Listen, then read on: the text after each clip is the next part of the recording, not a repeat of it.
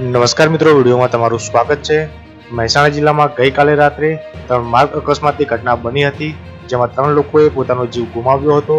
ત્યારે વધુ એક માર્ગ અકસ્માતની ઘટના સામે આવી છે, જેમાં અમદાવાદના એક યુવકનું મોત થયું છે.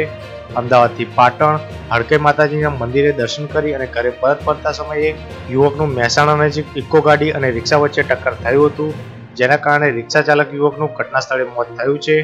અમદાવાદમાં રહેતો ગૌતમ પંડણી પોતાના માતા પિતા સાથે પાટણના મોટીસા હડકાઈ માતાના મંદિરે દર્શન કરી અને ફરી પરત તેમના ઘરે અમદાવાદ જઈ રહ્યા હતા.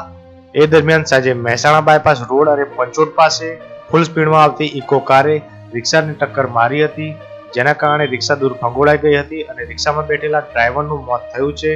ત્યારે અકસ્માત સર્જી ઇકો ગાડીનો ડ્રાઈવર ગાડી મૂકી અને ફરાર થઈ ગયો હતો. આ અકસ્માતમાં ઇકો અને રિક્ષાને મોટું નુકસાન થયું છે. હાલ મૃતકને પીએમ માટે મહેસાણાની સિવિલ હોસ્પિટલમાં લઈ જવામાં આવ્યો છે. પરિવારને જાણ કરતા આખો પરિવાર મહેસાણા સિવિલમાં દોડી આવ્યો હતો.